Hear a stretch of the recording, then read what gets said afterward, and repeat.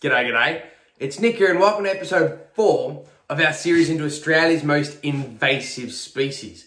Now, so far we've talked about feral cattle, black rats, blackberries, but in this episode, we're going to introduce you to the seventh most invasive species in Australia. So stick around, guys. Should be another very interesting video.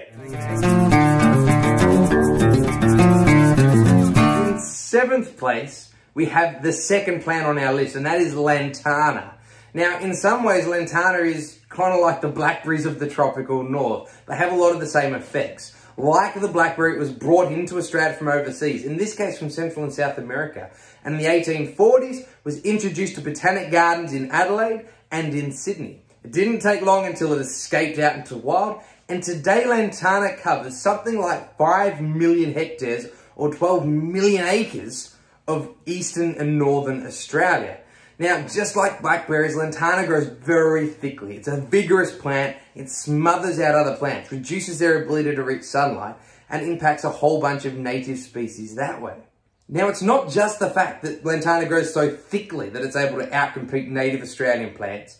It's also able to release certain compounds into the soil that reduce other seeds' ability to germinate. So any native Australian species that might try and give it a run for its money is just shot down at the knees again. It can't get up, can't get going.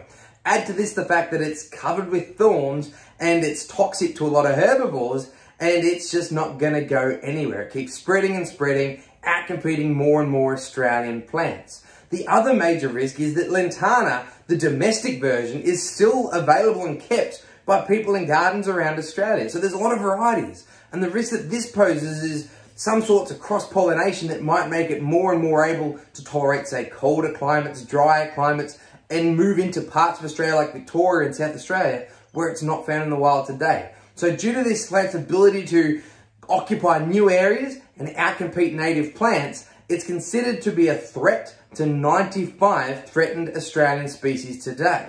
So there you have it guys, seventh most invasive species in terms of its impact on threatened species in Australia is lantana, which makes it the second and the last plant on the list. Now from here on in, we should get a few critters that you're not surprised to see on there, but there is still a couple of surprises. So make sure you check on back next week. There's lots more uh, parts of this series coming. And if you haven't already, there's 200 other videos talking about Australian wildlife. So make sure you press the like button, subscribe to the YouTube channel, all that kind of stuff.